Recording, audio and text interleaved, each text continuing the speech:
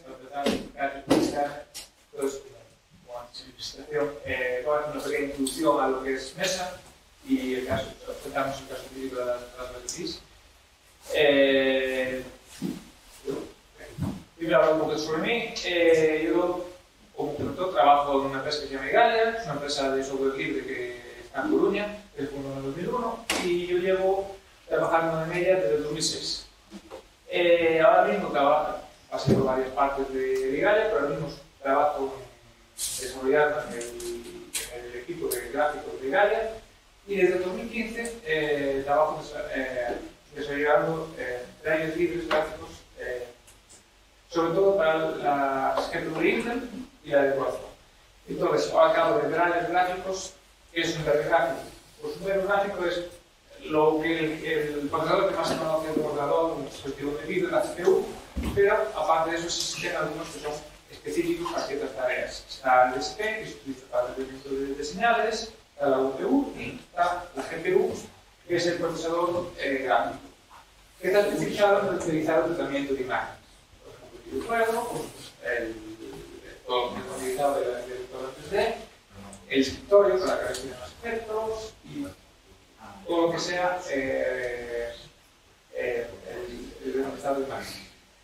Por tanto, ¿qué es un driver gráfico? Eh, cada constructor, cada hardware, pues cómo se renderiza, qué es lo que hace, tiene una serie de comandos, una serie de registros que habilitar, y claro, pues, alguien que está desarrollando una aplicación gráfica, pues no, va, no quiere pues, conocer todos los detalles de cada hardware. Entonces, al final, un driver gráfico es así, muy, muy alto nivel, viene siendo como un puente, un traductor entre lo que es el hardware específico y lo que el usuario que quiere usar. Entonces, usuario, ¿qué va a usar para hacer eh, esos gráficos, para representar esos gráficos en pantalla? Pues utilizar unas APIs estándar, unas interfaces eh, estándar. Eh, hay otros fabricantes, por ejemplo, de Microsoft, que proporciona vídeo 3D, pero los estándares eh, multiplataforma sistema operativo más conocidos son OpenGL, que lleva con nosotros desde 1992. Luego, unos años después, apareció el OpenGLS, es de Embedded Systems. Entonces, es, pues, eso apareció, surgió, surgió un poco para los móviles. Pues claro, si veis, son casi 20 años, entre, eh, no, perdón, 10 años entre uno y otro, entonces OpenGL tenía muchas cosas que los móviles no, necesitaban ni querían, o más bien OpenGL también empezó a tener varias interfaces pues, que ya no se usaban. Entonces digamos que OpenGL fue un poco limpieza de interfaces y a la vez eh, centrándose en, en, lo que necesitaban los, los. Luego, más adelante, ya en el 2016, ahora sí que son eh, casi 30 años, eh, apareció otra interfaz que es eh, Vulkan. En este caso surgió porque, bueno, después de 30 años, lo que es el hardware también cambia. Entonces, el modelo, eh, la forma de interactuar con el hardware, pues ha cambiado mucho. Entonces, OpenGL pues, se hacía mucha parte interna que no era exactamente como se trataba con, con, el hardware gráfico. Entonces, Vulkan es un poco de llevar más el modelo de lo que es eh, el hardware en, en ese momento más a bajo nivel y además también un poco lo que comentaba antes, haciendo la elección de 30 años, como los problemas que había es que se podía hacer lo mismo de dos, tres, cuatro, cinco veces de maneras distintas, porque apareció primero de una manera, luego se van añadiendo un menos formas de hacerlo, entonces Vulkan también de cierto modo también un poco eh, limpieza de, de, de, Entonces, claro, la pregunta que comentaba ahora, ahora es que mientras que hay interfaces que las define un fabricante, usa ejemplo de Microsoft que define video 3D, esto es un estándar de la industria, entonces ¿quién lo define? ¿Quién, quién dice qué se añade, qué no se añade y cómo se añade a estas nuevas? Bueno, perdón, eh, sí, lo explicaba. Esto, por ejemplo, es un ejemplo eh, de lo que sería OpenGLS. Entonces ahí podemos ver, no sé si lo, veis, pero lo que viene es un código que lo que hace es define unos vértices, a los vértices le asigna buffer de memoria donde se, se usa. Hay un vértice que también se, le proporcionan unos atributos, como el color, la posición, etc. Y luego al final se dibuja. Este ejemplo concreto lo que hace es dibujar un prima. Luego, además, aparte de este acto que es tu control de información, haces tu programa y, y tus vértices. Ahora quiero que se dibujan estos vértices. Estos vértices tienen estos componentes, ahora quiero usar una textura. También eh, esas también proporcionan un lenguaje de serie. ¿Qué es un lenguaje de serie? Es un lenguaje de programación de gráficos. Eso significa que eh, estos lenguajes eh, se ejecutan en la propia GPU. Eh, digamos que están diseñados para ser ejecutados en de GPU. Sin entrar en detalle, la CPU tiene un modelo de trabajo y la GPU tiene otro. En ese sentido, si os fijáis, una cosa que tiene mucho, eh, la pantalla son píxeles. Entonces, una cosa que intentan las GPUs es poder ejecutar muchas cosas. Eh, este modelo que se suele llamar una instrucción múltiples datas. En ese sentido, las GPUs tienen un alto nivel de planificación. Entonces, eh, estos lenguajes de serie están diseñados para ser ejecutados dentro de la GPU y poder utilizar la, en la mayor medida posible esas funcionalidades. Cada API gráfica que comenté antes define al menos uno. Por defecto, no PGL de NFS se utiliza LSL, Imbuta, Stilube. Normalmente hay extensiones que lo que te permiten es utilizar otro lenguaje. Por ejemplo, la extensión OpenGL que te permite utilizar Stilube. En el caso de Vulkan, Normalmente lo que se hace es que tú antes, si quieres usar tus lenguajes, pues los traduces a este. Entonces, esto, esta transparencia me sirve para mostrar un poco cómo es el, el, el lenguaje de programación. Al final es un, muy parecido al C, lo que pasa es que tiene eh, constructores, bueno, los tipos específicos de, la, de las GPUs, por ejemplo, vectores de dos dimensiones, vectores de tres dimensiones, etc. Y aquí esto también me sirve para mostrar que en la GPU normalmente en la GPU tú cuando haces un renderizado en pantalla, eh, suele tener varias etapas, varios, varios stages.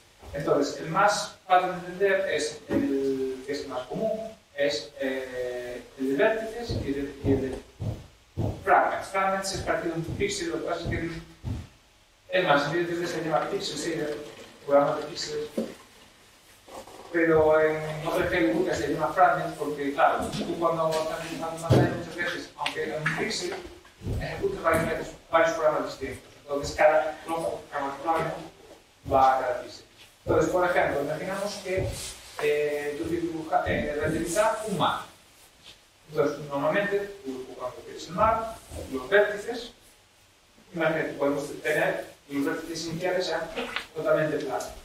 Pero nosotros queremos que haga olas. Entonces, eh, la primera etapa, por ejemplo, es el vértice que es, le llevan vértices y tú quieres transformarmente, y lo más básico que hacer es la proyección a pantalla. Pero claro, si quieres un mar, ¿qué podemos hacer? Vértices para que parezca un. Pues una cosa que se puede hacer es aplicarle una función de seno o seno, dependiendo del tiempo, del momento del tiempo en el que estás, se suma y alguna cosa más que parece realista y no son unas ondas totalmente matemáticas, entonces aí podes ver, eh, bueno, a lo mejor si te muy lejos, que a, las, que, a a, varios de los de las de, hay varios seres que los echan aplicar. Entonces, después de pasar por esta etapa de vértices, se calcula cosenos y cosenos la posición final, se proyecta, porque claro, uno recibe las posiciones en dimensiones, se proyecta para que estén dos, Hay varias, hay varias fases, pero luego la, la, la otra más común que la otra es ahí, claro, si quieres sumar, lo normal es que si quieres pintarlo azul, o que sea un sol, pues se hacen reflejos, y entonces ahí pues, se hacen otros cálculos, se calcula un final y, y muestra en pantalla.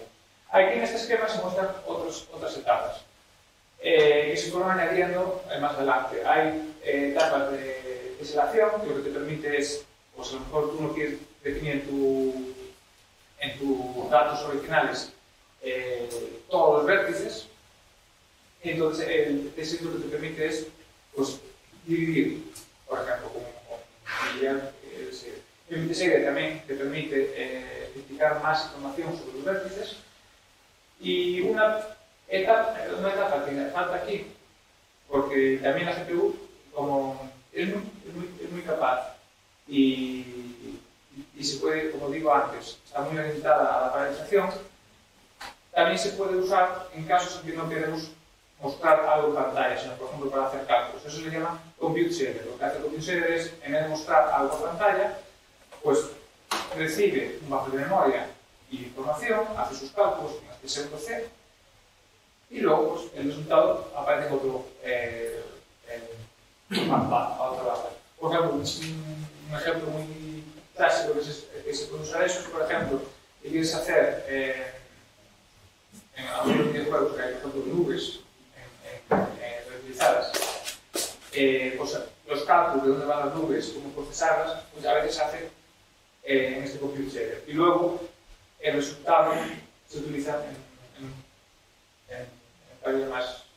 más tradicional de técnicas para que se Entonces, lo que comentaba antes, que me colé un poco pouco interesante, es quién define estos estándares. Eh, al principio, eh, es un consorcio llamado Cronos. Este consorcio están varios eh, de los, más importantes, claro, son más eh, son Nvidia, AMD, eh, también está Intel, y fabricantes de GPUs, pero también están empresas que utilizan gráficos eh, de tal manera que, bueno, para que se escuche un poco lo que están diciendo nuevas APIs, pues vamos a escuchar un poco su opinión. Entonces el consorcio eh, define eh, y decide qué es lo que va a ir bien a, a las distintas APIs.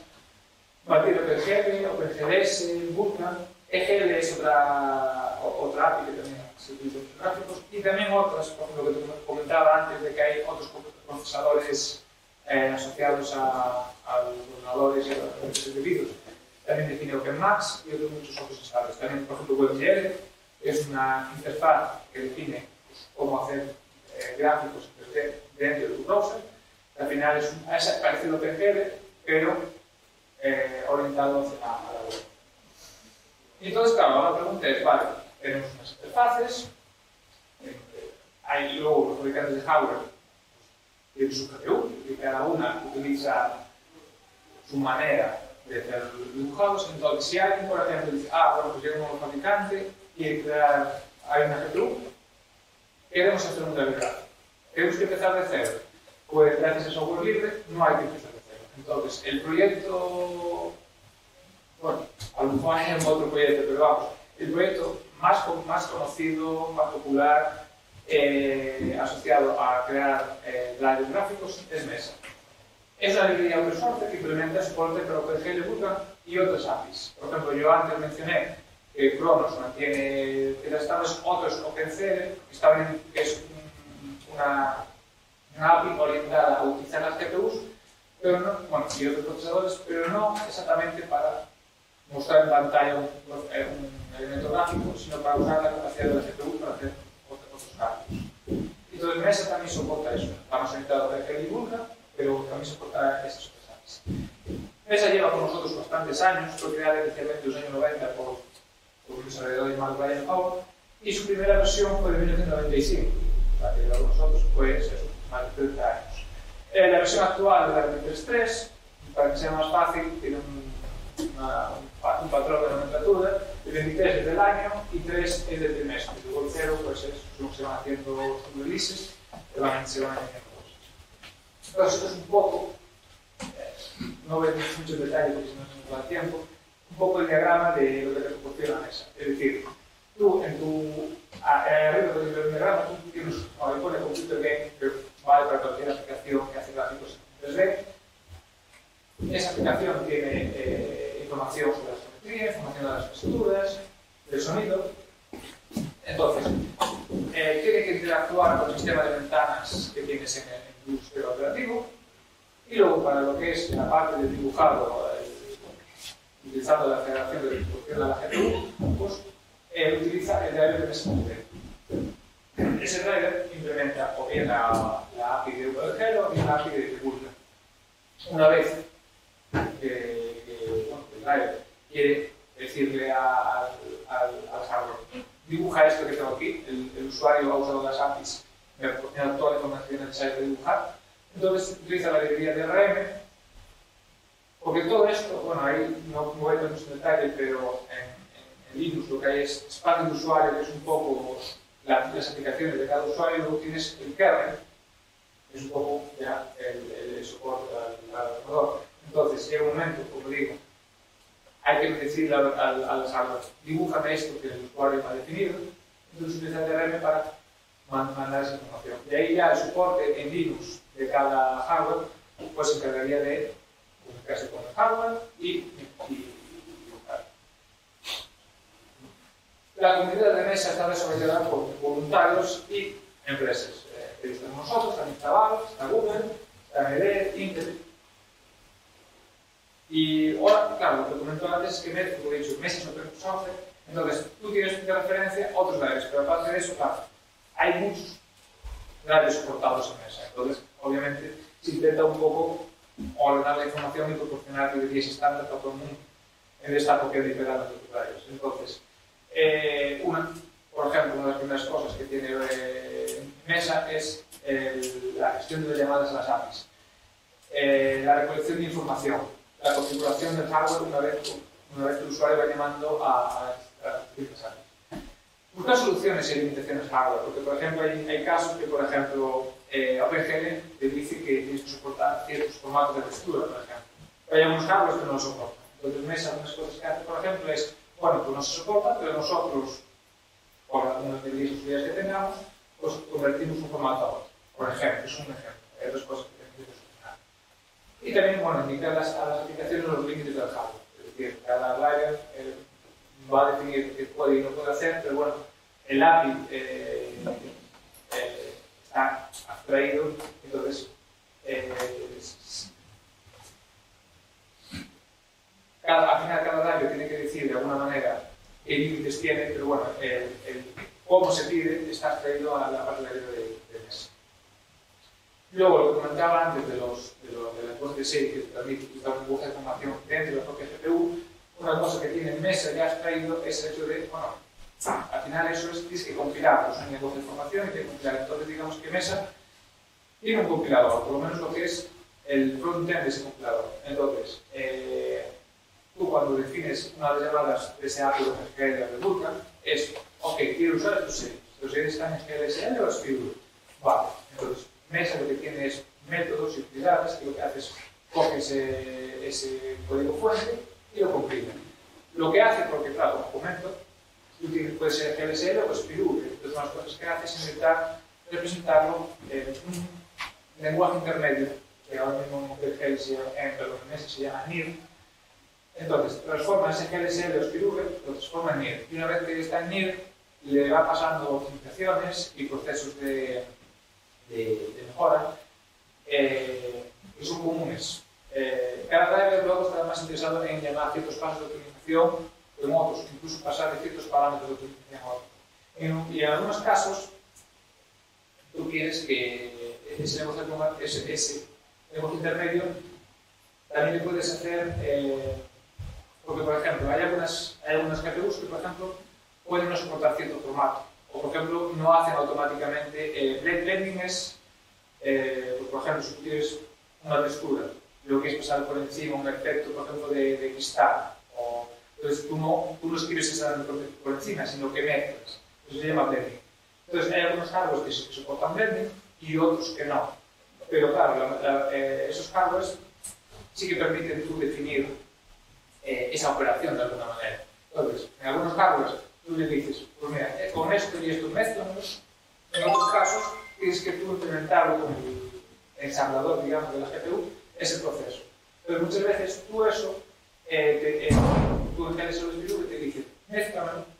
En algunos casos tú quieres dar al hardware un código que te diga, en otro caso, ah, como hardware no soporta, pues entonces el propio NIR me implemente ese código y, y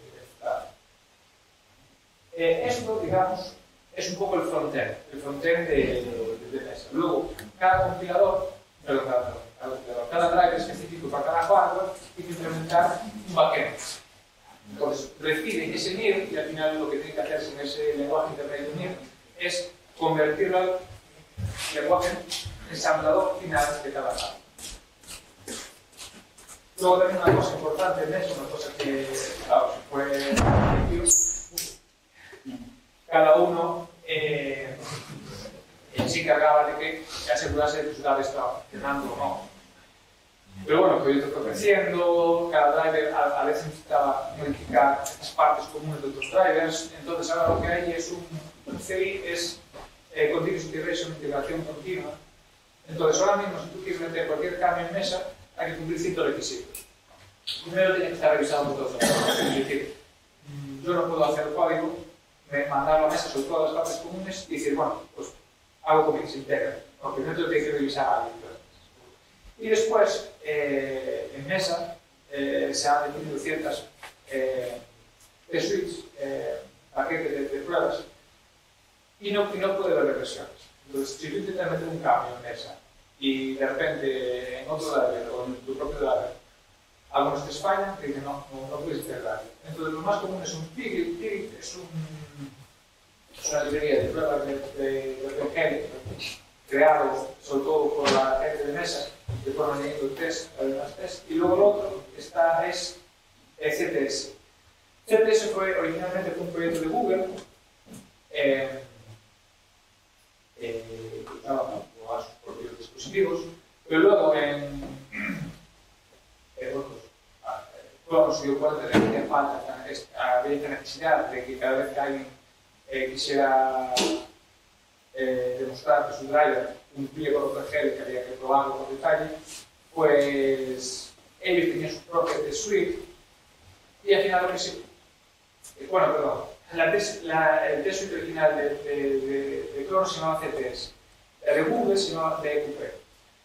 Y entonces al final lo que se hizo fue integrar una con otra y entonces ahora está CTS incluye test antigo, o que pasa é que os cabeches son menos e os están usando máis de que yo Google, extendiéndolos, de ocupe, añadiendo cada vez más y más especies más. Es una de cosas que ha mejorado mucho en los últimos años.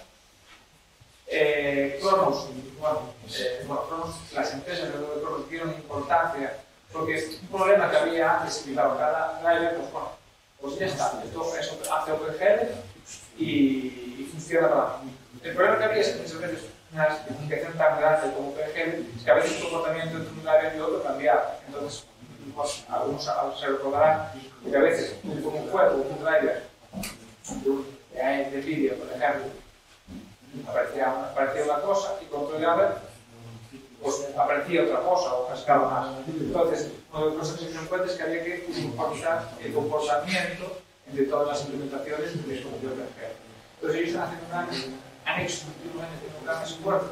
Más el esfuerzo es tan grande que ahora Figgy, eh, poco a poco, eh, está más y más en desuso. Más, muchas veces intentas añadir más Figgy y te dicen, pues sí, ahora está CTS para eso. ¿Para qué sigue añadiendo test en si se puede hacer el esfuerzo de meter todos en CTS? Y otra cosa con la que se usa, además de, eh, bueno, cuando tú estás desarrollando, probar que todo está funcionando bien, es que para que Cronos oficialmente diga, vale, tu Grindr es de OpenGL, driver cumple con Burka, que tienes que pasar todos los test de test, que pasamos todos. Entonces, lo que comentaba antes es que luego para tú meter un, un cambio en mesas, no puede haber regresión. Entonces, eh, pues eso, como digo, mesa un poco, un proyecto eh, paradas, engloba a varios, a, a muchos drivers. Es decir, que en Mesa te proporciona muchas librerías auxiliares. Eh, por ejemplo, en el caso de Vulkan, cuando apareció Vulkan, como siempre, primero apareció un driver de Vulkan, luego apareció otro que copió y pegó mucho del, del, del, primer driver, que fue el de Intel, luego apareció el tercero. Eh, el caso que lo puse en todo el Broadcom, eh, cuatro, entonces claro, cuando empezaron a vender cuatro drivers de Vulkan, que cada un está copiando y pegando uno del outro, pois pues empeza a hacer un esfuerzo de, de normalizar eso e, e algunas partes que eran comunes pasadas a una librería común dentro de mesa. En ese sentido, un curso de los de Vulcan, según se va, según se va haciendo ese trabajo de realización, cada vez son más pequeños, porque comparto todo ese periodo código. Entonces, eh, como estaba comentando mesa, eh, proporciona esa parte común y, aparte eh, eh, hace un poco proyecto paraguas para datos de muchos hardware eh, de Intel, de Nvidia, Ivanti, Qualcomm, hay varios más y, y Broadcom. Entonces, aplica, por un ejemplo, lo que decía antes, por ejemplo, este es el código fuente en, del lenguaje de GLSL, es una cosa tan sencilla, lo que hace es por los sentidos que comentaba antes en los fragmentos, lo que estoy diciendo es que el color sea igual al logaritmo de 2 de un argumento y, y de otro argumento, lo sumo. Esto, lo he dicho en mesa, lo, lo, lo coge, lo parsea, lo pila, pasa por distintos eh, pasos de ejecución, y lo que queda este lenguaje intermedio. Digamos que este lenguaje intermedio es común a todos los drivers de, de Intel, que conste que Mesa eh, de buenos intermedios también tiene tres o cuatro, pero muchos son antiguos, como el TGSI, que ya no se usan, pero ahora se puede decir que el el que más se usa y el que se recomienda que se use para, para todo driver nuevo que venga es MIR, pero tiene esto aquí, un poquito menos.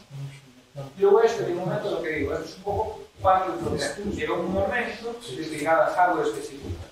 Entonces, por ejemplo, para el caso específico de los de Rothmund, que es una empresa eh, bueno, que proporciona el Instituto de Harvard y que es bastante común en, por ejemplo, en los sectores eh, también proporciona también, diseño de una GPU.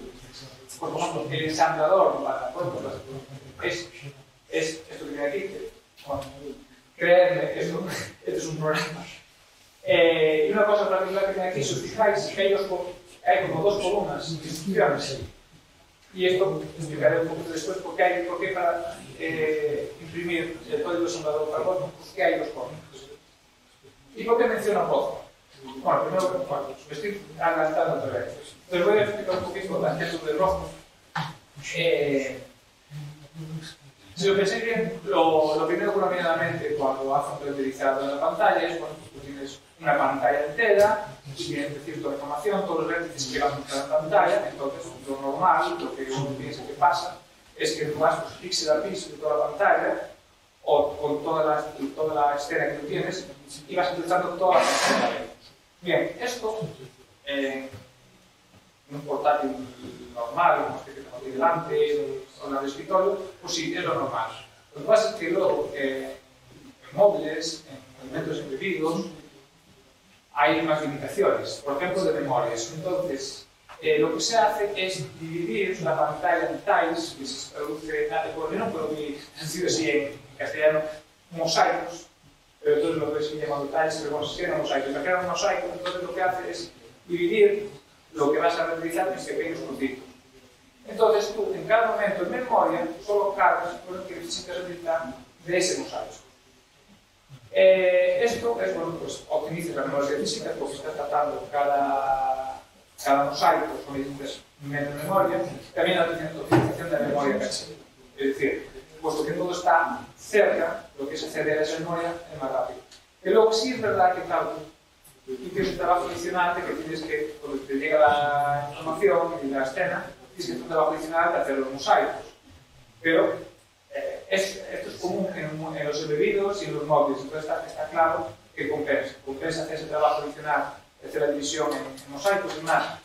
Si os acordáis antes, eh, mostré varias etapas del renderizado, entonces, por ejemplo, más común, vértices y, y lo que es el ramen, pues esto en Broadcom significa que hay una etapa más, que hay vértices, vértices, eh, bueno, se llama Inverter Stream, pero se refiere a la gestión de los mosaicos. Entonces hay una etapa más. Entonces uno puede pensar que, bueno, si tienes que hacer todo ese trabajo, normalmente compensa. Pues está claro que sí, está claro que sí, porque vamos, es lo más habitual en la industria para los individuos y, y, y los móviles. Porque al final, claro, lo que es la va de la memoria es algo muy importante en los dispositivos. Pero luego, otra cosa que tiene las centros de, de es que hay, hay un, le llaman el tipo limitado de memoria eso significa que solo tienes un tipo de memoria.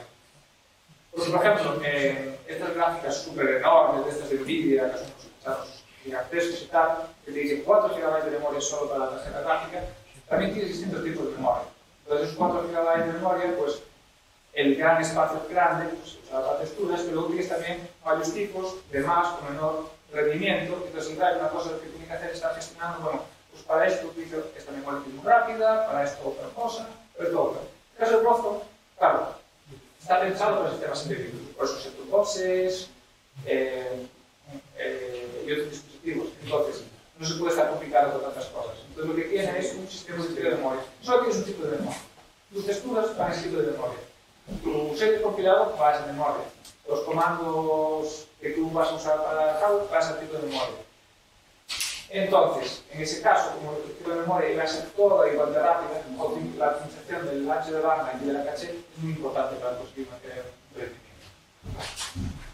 El, lo que es el soporte, las funcionalidades eh, que soportan estos GPUs, está sobre todo orientado a OpenGDS y, y desde Videocore eh, 6.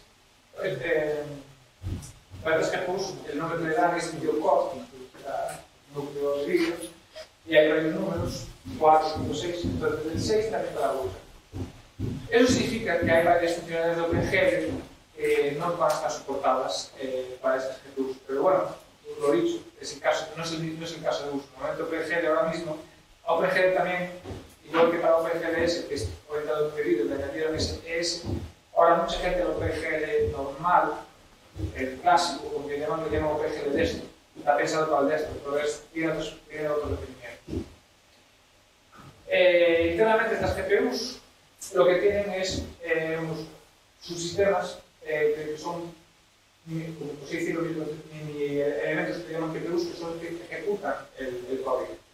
Y no sé si recordaréis comenté antes de que en el ensamblador tuve dos columnas.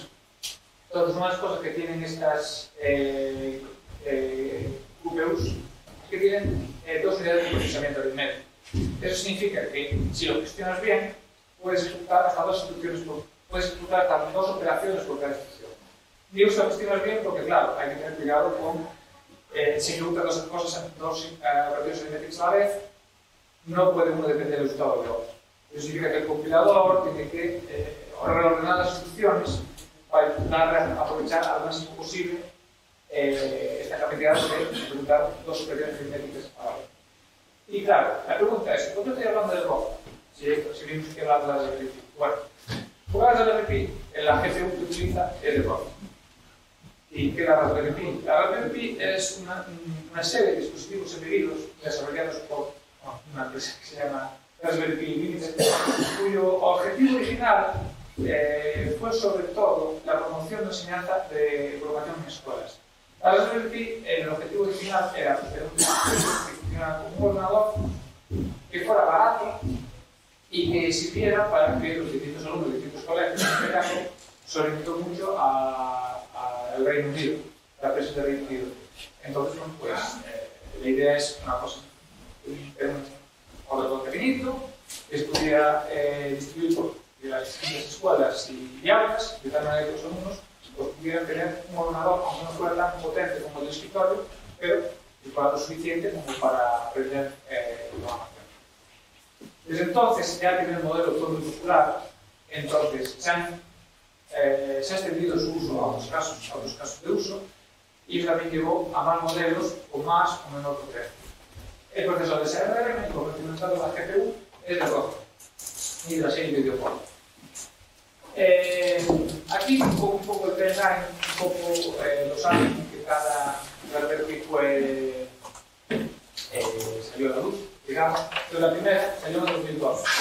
Luego, más o menos cada 3, 2, 3, 4 años, siguiendo un modelo. El Raspberry 2 2015, la 3 2016, que yo creo que ahora mismo la Raspberry 3 debe ser la, más, la que se ha vendido más, la que más está más vendida por el mundo.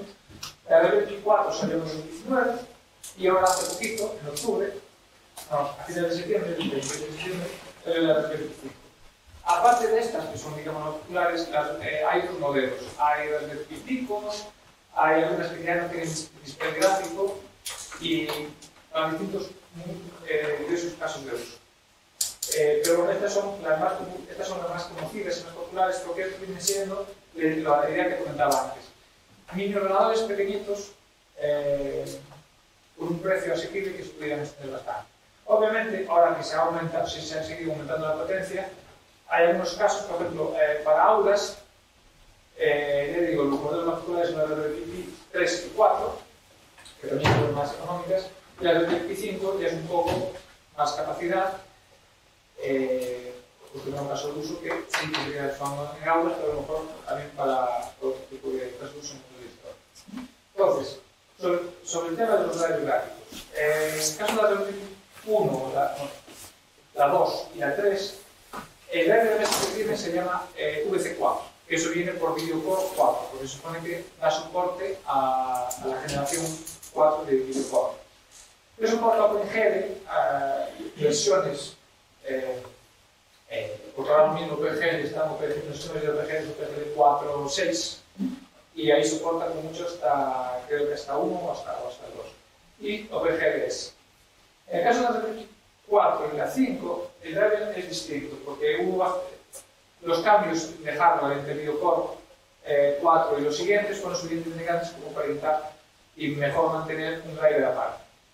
Inicialmente, eh, este driver para este caso, para OpenGL, se llama v 3 v, V3D. Y en el caso de Vulkan, V3DV. Inicialmente, el V3D se llamaba VC5, por VideoCore 5. Pero luego se vio que ese mismo driver valía para VideoCore 6, en su momento cuando salió, y ahora cuando sale la 25 también para VideoCore 7. Entonces, claro, pues, cuatro generaciones se cambió el nombre a un genérico V3D que se refiere un poco eh, para, para, indicar que soporta varias generaciones de, de hardware de, de la GPU de, de Entonces, ahora aquí hablando un poco de nuestra experiencia personal sobre el desarrollo de estos drivers, eh, nosotros, o sea, IGAL empezó a involucrarse a, final, un poquito a, a finales del 2018, un poquito antes del lanzamiento oficial de la 24. Para entonces, eh, VC4 y V3D ya existían, que daban soporte para OpenGL y OpenGLS. Entonces, nuestro trabajo inicial ahí fue pues, consolidar y, extender la funcionalidad de, de, de esos drivers. De la funcionalidad, pues, OpenGL, aparte de definir un, un núcleo de este que está soportado, sí o sí, para que puedas decir que soportas esta versión de OpenGL, luego también te permite definir unidades extras a través de lo que se llaman extensiones. Y si soportas bastante los mismas extensiones, a lo mejor te da para decir que soportas el, el, el núcleo de la parte común de la siguiente versión de OpenGL. Entonces, pues durante ese primer año, pues se dio, se fue eh, eh, extendiendo la funcionalidad y estabilidad de, de, de esos dos drivers. Y de 2004, lo que comentaba antes de que Cronos, para que tú puedes decir que soportas oficialmente una versión de OpenGL, tienes que pasar todos los test de y lo que, lo que dicen es que es conformas, que, es, que eh, por el caso de la 2004, para OpenGLS se consiguió en, en el 2020. Y más o menos ese año se empezó a trabajar en el, en el driver de búsqueda para la 24. Eh, claro, se pode decir que se, se empezou de cero, porque antes, si querías usar Vulkan con la 24, no podías, no había nada, no había nada que pudieras usar. Pero claro, es de cero, entre comillas, porque como ya comenté antes, en mesa te proporciona muchas cosas. Ya, es decir, por ejemplo, el frontend de mesa, una cosa que te proporciona es, tú recibes el, el, el lenguaje de shaders, eh, Spirit, Spirit, Spirit, Spirit, y te lo convierte a NIR, que es este lenguaje intermedio. Y como la RLT, eh, perdón, es eh, V3D, una de las cosas que tienes un compilador para compilar de NIR al ensamblador de, de eso se puede usar. Claro, hubo que extenderlo porque había una funcionalidad extra que había que soportar, pero esa parte común ya, ya se estaba usando. De la misma manera, V3D, eh, tú para poder usar, eh, decirle a, a, la GPU, quiero que me limpie la pantalla. Ok, mira, estos son mis shaders, estos son mis vértices, o que van dar los comandos. Pues la definición de esos comandos pues ya estaba hecha. Entonces, digamos, eh, y es más, en, en general, una de las primeras cosas que hicimos antes de empezar realmente con la de Luna es un poco esas partes que veíamos que iban a ser comunes, pues extraerlas un poco, moverlas a la parte común, para los actos. Por ejemplo, también el simulador, otra herramienta que tenemos para poder usar, eh, para poder implementar drivers, es un simulador de la GPU. Y en ese sentido, eh, yo podría decir que el 80% del tiempo que estoy desarrollando el driver estoy haciendo con mi portal. Porque hay un simulador que me simula la GPU, que también tiene la ventaja de que, bueno, no sé si escuchaste alguna vez que tú estás con un juego y te, hay, te casca la GPU. Normalmente si te casca la GPU, el juego se va a la porra y muchas veces el sistema también se queda bloqueado. Una vez, no sé si os pasó, una aplicación que usamos en 3D, un juego, se te queda picado.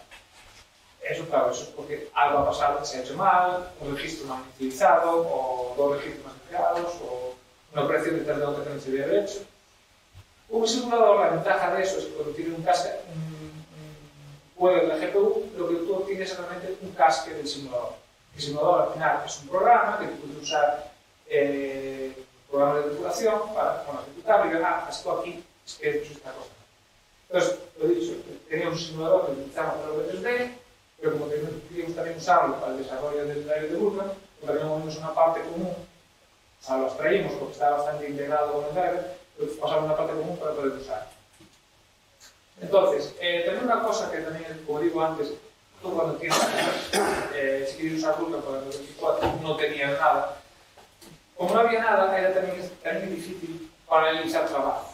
Porque claro, si hay que hacerlo toda vez y nada funciona, eh, ¿cómo divides? Entonces, eh, después del trabajo de, de, de, la estación, que sí que se pudo dividir un poco, el trabajo de David de Burkhardt lo empezó ya a que también trabaja en un compañía de Gali, y su objetivo es conseguir el programa más sencillo de Burkhardt que funcionara.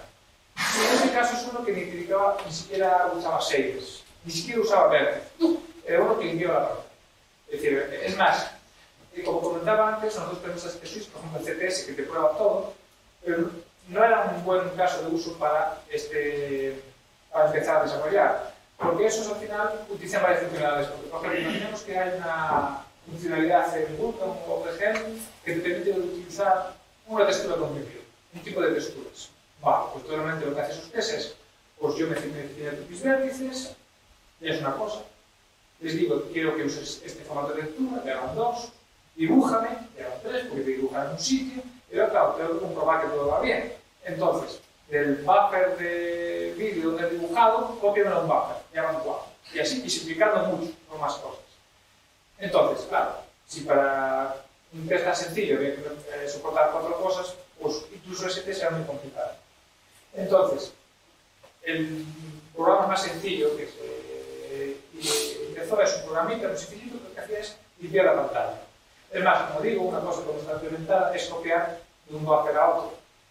Porque normalmente ese copiado de buffer de memoria ese tiene una disposición de memoria distinta a la que tú quieres cuando lo tienes para ti. Entonces hay que hacer una conversión. La ventaja que tiene la limpieza es que todo tiene que tener el mismo valor.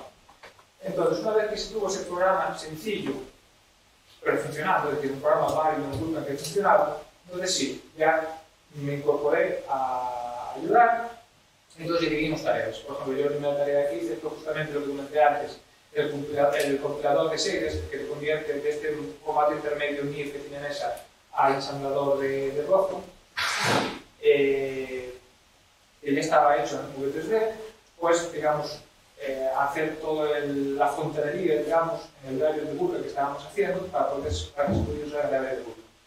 Y en ese momento también, para, nuestro objetivo era, tener las cosas a hacer sencillas. El objetivo inicial era conseguir que driver de Google implementara la versión de Google 1.0, ya, de aquella había nueve versiones de Google, pero que por lo menos implementara 1.0 y los requisitos mínimos de Google 1.0. Es decir, porque eh, en todos los drivers definen varias cosas, pero no tienes por qué implementarlas todas. Eh, te, permiten, te permiten unas excepciones. Entonces, eh, nosotros la idea es implementar un cero, pero lo mínimo de cero con unas pequeñitas excepciones, que sean cosas sencillas o que sean muy, muy, muy útiles o necesarias. Entonces, digamos que un poco el timeline de cómo fue el, el desarrollo del driver. A finales del 2019 se empezó, reposo de todo, ok, tenemos que ir con la API de Vulkan, las cosas tenemos, vamos a ver cuáles son las más prioritarias, las más importantes, por cuáles tenemos que empezar cuáles son necesarias para obtener algo mínimo. Ya en enero conseguimos, que es bueno, una cosa que se muestra mucho cuando uno está haciendo un, driver nuevo, es conseguir dibujar un triángulo de colines. Entonces en enero se consiguió ese triángulo. En agosto por fin se consiguió eh, el soporte para, eh, eh, para 1.0 y luego se siguió refinando porque en aquel teníamos algunos test que no funcionaban y en octubre de 2020 se consiguió el documento esto que antes de que para que uno nos diga, vale, este driver que tú tienes aquí es OpenGL, pero entonces tienes que pasar todos los tests y tenemos que verificar, tienes que mandar los resultados y verificar que todo está bien. Entonces, eso se consiguió en octubre de 2020. Luego, después de eso, como comenté, lo, lo, lo importante primero es conseguir la funcionalidad, la funcionalidad mínima que pudiera, vamos, que funcionara. No se había mirado mucho el rendimiento. Entonces, después de haber conseguido eh, ese, conformas ese el sello oficial de todos los vale, un driver es 1.0, sí que se empezó a trabajar en rendimiento. Y también trabajo en aplicaciones reales. Por ejemplo, una de las primeras aplicaciones reales que se usó es el port eh, a Vulkan del Quake 2. Y claro que sí, pero ¿por qué el Quake 2 y no el Quake 1 o el 3, que son más famosos? Básicamente porque de todos los ports del Quake era que eh, requería menos cosas. Entonces, pues, en el momento pues eso, era lo más básico que, que set, pero eh, porque esos ports eh, son juegos clásicos, pero lo que suelen hacer cuando convierten a Vulkan no solo es un port así en plan de edición directa, sino que suelen añadir cosas. En cambio, en el caso del Quake 2, sí que es en plan, bueno, pues que dibuja lo mismo, pero usando Quake, pero usando, perdón, pero usando Quake. Entonces, ahí sí que hay un trabajo inicial, primero para que funcionara, el uso del rendimiento y luego sí que se fueron utilizando, pues según se fueron añadiendo funcionalidades y se pudieron probar los ports, el del Quake 1, el del Quake 3 y, y ahora vamos a una... Sí. Eh, luego, en diciembre, luego, en un año, eh, ese primer año después de conseguir el conformes, eh, se trabajó en rendimiento, luego se, añadió, se trabajó en añadir más y más funcionalidad, hasta que vimos que bueno, estaba bastante cerca de que esto se abuca a 1.1. Entonces implementamos lo que faltaba y en diciembre, casi un año, justo un año después, conseguimos el, el sello, conforme el sello oficial de esa versión 1.1. Y un poquito menos de un año después, en el juego de 2022, el 1.2. Ahora mismo hay eh, la versión oficial de Vulkan, eh, la última la 1.3, eh, pero ahora mismo no es una utilidad agrade, lo que vamos a hacer es como, como en otros casos. Seguir añadiendo funcionalidad según veamos que se puede implementar y que es útil, que la gente lo está pidiendo. Y si vemos luego, pues, pero estamos bastante cerca de Andrés, pues ya pensaríamos en, en llegar a ese Sobre el, rendimiento, una de las aplicaciones que usamos mucho, porque es un poco eh, una demo que llegaba al límite de lo que la Raspberry Pi 4 podía hacer, son las demos del Unreal Engine 4.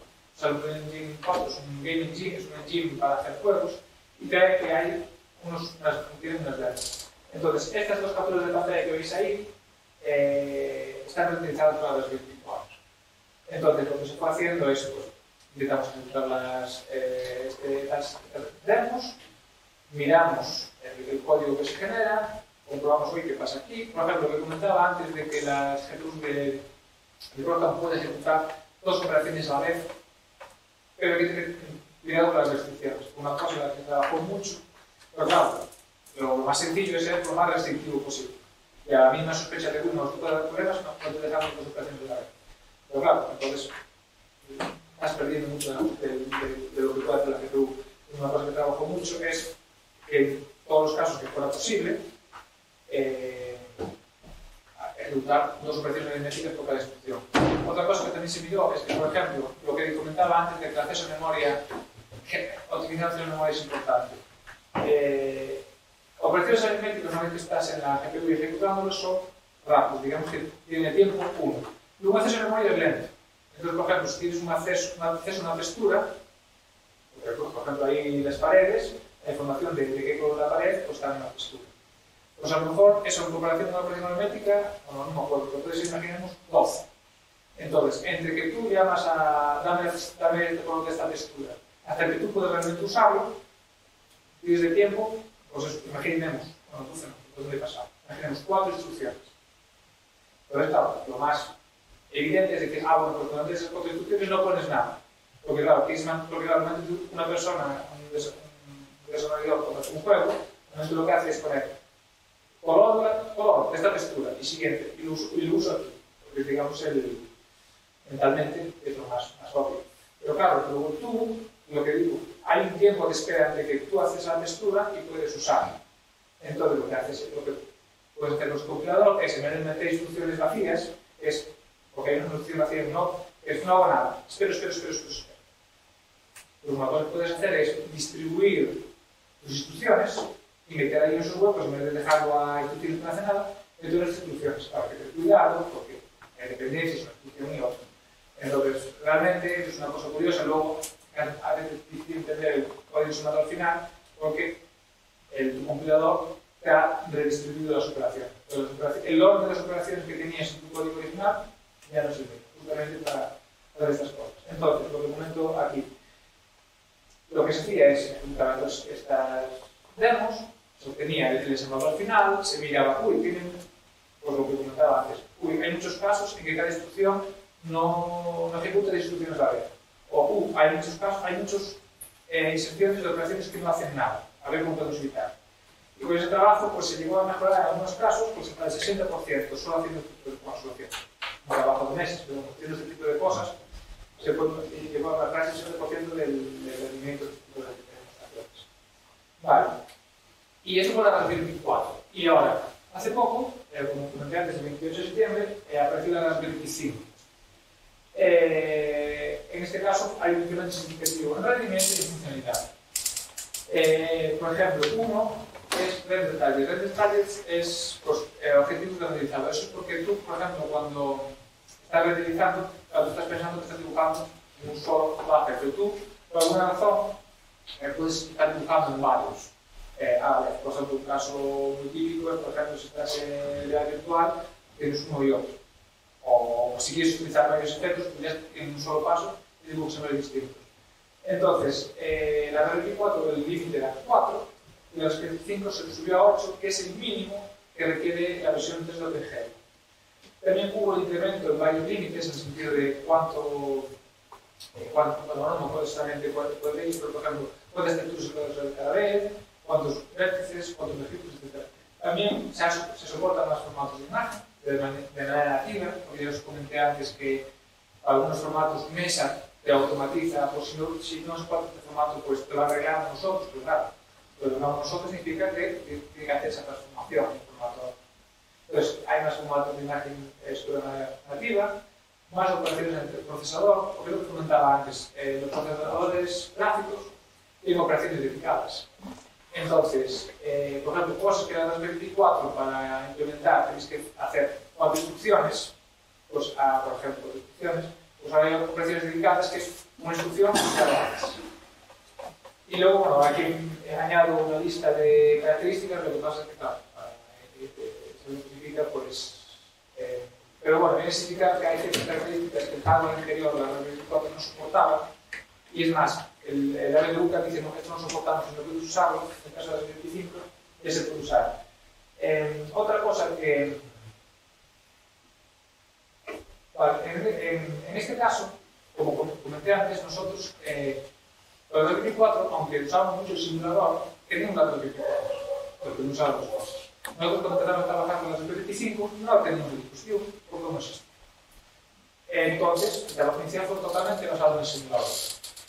Eh, como en el caso anterior, eh, eso, no había nada funcionando, entonces el DIF para evitar trabajo, eh, también sin, sin un trabajo inicial. En este caso fui yo, no me acuerdo, de verdad estoy pensando, no me acuerdo escribir el primero, pero yo creo que fue justamente por el simulador. Porque, claro, como para soportar un nuevo hardware, falta una versión inicial del simulador y hay que integrarlo, pues como estaba yo dedicándome en ese momento a integrar ese simulador, pues entonces yo ya empecé ese trabajo. Entonces, como en otro caso, yo seguí hasta el momento en el que algo funcionaba, en mi caso yo llegué hasta un triángulo que ni de colores, solo permitía que un triángulo de un solo color, que más rojo creo, creo que no podías estirar más de un color, y en ese momento empezamos a dividir tareas otra vez eh, ya yo. En este caso, no solo fue el, el aunque empezamos primero con el driver de empezamos con el driver de Vulkan porque en Italia hay más gente eh, que está colaborando con, y aportando a, estos drivers, y, y habíamos dividido, pues hay cierta gente que está trabajando en PGL, cierta gente en creación de ventanas, eh, de escritorio me refiero a X, y todo eso, y nosotros estábamos con Vulkan. Entonces quedamos con Vulkan porque lo que teníamos más, eh, bueno, o estábamos trabajando más al día a día. Eh, lo digo por el momento que piensa que se que va más que la misma competencia de Burka, nosotros tenemos una endoscopia de Burka. Eh, para el 2025, aparte de más funcionalidad y más, y más, más potencia y todo esto, hubo varios, varios cambios significativos. Eh, por ejemplo, se comentaba antes de los red detalles que antes eran 4 y pasaron a 8, eso significaba que el comando para decir, mira, quiero dibujar y quiero que dibujes aquí, luego aquí y allá, eso se cambió. Entonces los comandos de, para decirle cosas al, a la, a, a la ejecución de los hazme esto, otro, hubo bastante, muchos cambios. También hubo cambios, como digo, si había más operaciones de ensamblador, bueno, las que vamos, eh, que permitían los comandos, significa que había más y algunos también cambiaron. Y también hubo un cambio en los registros, porque bueno, eh, creo que todos son bien de un perfil técnico, los TPUs tienen los registros donde se van. Entonces, en la 24 había unos ciertos tipos de registros especiales, y es más, algunas operaciones eh, exigían que, la fuente, el origen de, los, de, las operaciones, estuvieran en ciertos registros, eran cinco registros, y, y la salida a estar también en esos registros. Una cosa que se hizo en 2005 en la GPU es que esto se simplificó, dejaron de haber tipo de registros especiales. Que por una parte eh, está bien, porque también porque a pesar de que había más funcionalidad también algunas partes del compilador eran más sencillas, pero también significó que había menos registros. Entonces, eh, aunque había varios cambios, nosotros empezamos asumiendo que igual que, el, que este driver daba soporte a varias generaciones de videocore, la, la 5 y la 6, es más, la red 24 es videocore 6, pero cuando se empezaba a trabajar antes de nosotros, eh, eh, Eh, cuando se a trabajar en ese driver, se había empezado con la, con la Videocore 5. Y si uno tiene mucho empeño, se puede buscar por ahí, hay unos endoposes que tienen esa GPU, pero no nos preguntéis cómo se puede montar, porque no idea. Eh, porque nosotros estamos muy, muy excitados sobre que funcione, que funciona 24 y 100. Entonces nosotros empezamos con la asunción de que íbamos a poder usar el mismo driver. No iba a pasar como con la 3 y 4, que íbamos a crear un driver distinto. Y bueno, pues seguimos avanzando, si hubo cambios aquí, hubo cambios allá, y al final acabamos el driver y dijimos, pues sí, mira, que bien, al final lo único que hay que hacer es, aunque hay varios, hay varios caminos de código, bueno, si estamos en esta generación, hay que hacerlo de esta manera, si estamos en esta generación, hay que hacerlo de la otra, pero bueno, sea de una manera razonable. Y llegamos al punto en que lo que decía antes de los test de CTS, los test, los test más oficiales para probar los drivers, que los pasábamos todos.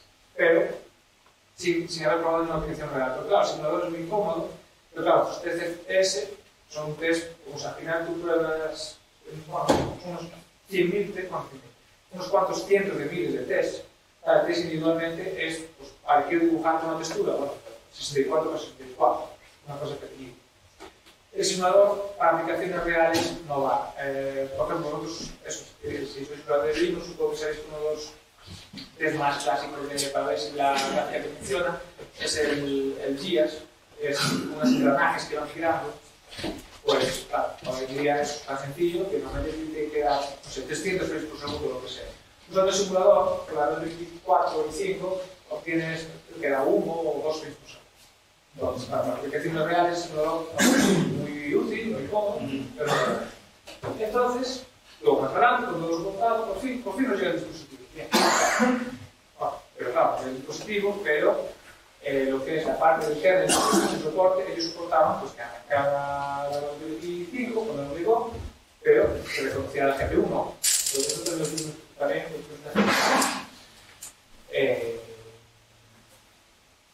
eh, y además la cuestión es que bueno, nos encontramos varias sorpresas. Eh, nos encontramos que, por ejemplo, estas que comentaba antes del Compute Shader, hay una diferencia en cómo se gestionaba entre uno y otro y no es, la documentación no lo dejaba muy claro. Al final se tuvo que comprobar eh, por prueba y error, en plan, y esto no funciona porque será, ah, este fin de gestión pues será de la otra manera, entonces tuvo que hacer varias pruebas. Y otra cosa que nos encontramos, había también documentación un poco incompleta, no solo este caso, también en otros casos. La documentación es bastante completa y bastante detallada, pero claro, no es lo mismo. Si tienes un tocho de 100 o 7 páginas, es imposible cubrirlo todo. Entonces, eh, algunas cosas específicas pues no estaba claro, algunos también, o querían preguntar, porque hasta cierto punto teníamos, podíamos preguntar a la gente de voz eh, a través de la Raspberry eh, pero, bueno. Pero ahora la versión, la sorpresa un poquito más grande es eh, que la versión que nos llegó, la versión final de la 25 no era exactamente la que estábamos usando en el simulador. ¿Y por qué? Pues no sé por un fallo de comunicación o porque en algún momento se decidió que era una generación lo que se pero que la siguiente y quedó un poco por el camino. Entonces nosotros, el proceso de trabajo con el simulador, asumíamos versión 7.1.2 y la que nos llegó a 7.1.6, ya veis, es, es cambio el último bit. Eso significa que los cambios no eran muy grandes, pero Y por ejemplo, los test de test, como digo, hay cientos de miles de test. Entonces, ese, esa diferencia que significaba es que, que sé, una docena fallaba, pero bueno, fallaban igual. Entonces, y además yo lo menciono porque, claro, esos test fallaban y dicen, porque falla si estamos haciendo lo que se supone que hay que hacer. Y el simulador funcionaba. Porque ya digo, el simulador, debo decirlo, es, es muy útil y además va a ser un simulador muy completo porque, vamos, en ciertos casos muy, muy contados, funciona casi igual igual que la ejecución original. Todo es no puedo morir. Si tuvieras un simulador, no funciona tú, ¿qué pasa? Más resultados pasa. Y una vez que ya conseguimos soporte para el kernel, a dar sorpresa, y así empezamos con gestión de aplicaciones reales que, como siempre, pues, se encuentran más problemas.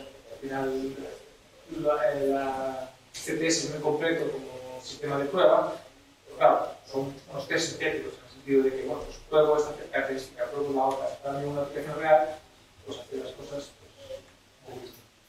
Entonces, eso, a, muy recientemente, el 28 de septiembre, hace un mes, mes exactamente, eh, la del 25 y ya ese mismo día eh, pues mandamos un código de, de, este soporte, tanto para ruta como para el PGL, eh, al repositorio oficial de Artemis. Eh, nosotros ya lo habíamos revisado entre nosotros, entonces, pero bueno, si acaso, eh, una cosa que sí que, que, bueno, que fue una ventaja para nosotros es que el soporte principal solo cambiaba cosas en lo que es en nuestro driver. Porque yo os comento que en Mesa hay los drivers, el, el backend, cada driver específico, el código para específico, y luego tienes una parte común. Al no tocar la parte común significa que no, necesitamos tanta revisión por, por tus partes, porque significa que se estar por ahí. Teníamos algunas mejoras que sí que esos cambios, pues los dejamos fuera. Entonces, se dejaron unas cuantas semanas de margen de inicio, porque claro, aunque fuera solo nuestro código que tocábamos y ya lo habíamos revisado, no dejaban, no dejaban de ser ciento y algo parches, lo normal ahí es dejar un cierto margen de, de si alguien que decir. Y bueno, el 14 de octubre, pues ya se integró. Entonces ahora mismo, si tú coges la rama oficial de, de Mesa, Mesa en desarrollo, que dentro de poco ya va a tener una release, y utilizas, Porque tamén, claro, mandaban os parches á mesa, pero tamén mandaban os partes a querras, non pode completar aí. Se mi mandé se mandaban tanto a mesa como a querras, a soporte. E pides as outras cosas, pois ya se pode usar a 25. Eh, los siguientes objetivos para el 25 pues, pois, es obtener este sello oficial de pues eso, Tudai es cumple con PGL, cumple con Vulcan. Luego, claro, eh, lo de siempre, eh, siempre que una cosa es probarlo tú con aplicaciones y con, con todos esos test, y otra cosa es que los usuarios empiecen a usarlo bien. Eh, entonces, claro, llega un momento en que seguro que va a aparecer algún problema, alguna aplicación, entonces pues, el objetivo en los próximos meses es que ahora ya se está empezando, ya se puede cargar. No te, creo que se puede cargar, no sé si ya está llegando a la gente, hay ya no que mirado. Pero claro, cuando empiece a llegar la gente y la gente empiece a probarlo de verdad, pues seguro que empiezan a aparecer otros. Y luego, bueno, la idea, luego, claro, lo normal seguir la evolución del driver, eh, mejoras que podemos hacer, más características. Lo bueno es que la mayoría, como he dicho, como hay muchas partes comunes a lo largo en el driver de la 24 y la 5, en la mayoría de los casos, excepto cosas que no soporta la 4, son una mejora en uno, la mejora es en 2. Eh, otra cosa que no comenté aquí, eh, o sea, no están las transparencias, pero creo que ahora se me puede comentar, como ya os comentamos, eh, como ya comenté, eh, el driver del 3D, aunque la 24 daba soporte a Videocore, o sea, perdón, la 24 utilizaba un Videocore 6, supone que driver daba soporte al Videocore 5. Bien, entonces el driver tenía varios si estamos en esta versión, hace esto, en esta versión, hace esto. Entonces, el driver soportaba hasta cuatro generaciones distintas de, hardware. Bien, problema.